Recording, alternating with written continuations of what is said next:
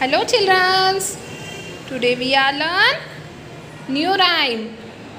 What I can do. So let's start the rhyme. Two little hands to clap clap clap.